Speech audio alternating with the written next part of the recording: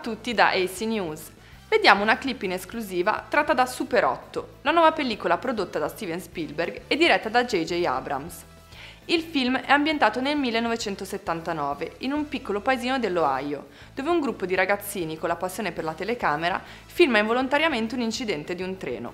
Ma nessuno di loro sa che i vagoni coinvolti trasportano creature uscite dalla mitica Area 51. Action! I think you're in danger! I don't have a choice! Don't go back!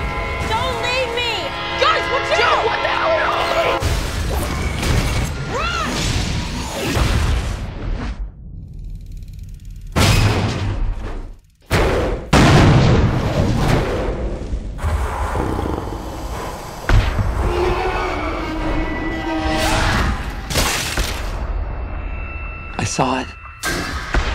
No one believes me. I don't want any more trouble, do you? Air Force isn't answering a damn question. They're looking for something.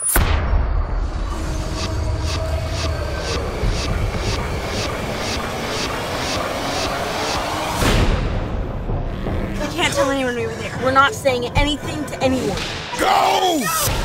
The town is sealed off. Nobody's allowed in. What the hell? Nine people missing. Property damage, theft. There are things happening around here that I can't explain. You're asking me if we had dangerous persons on board this train? I can assure you the answer is no.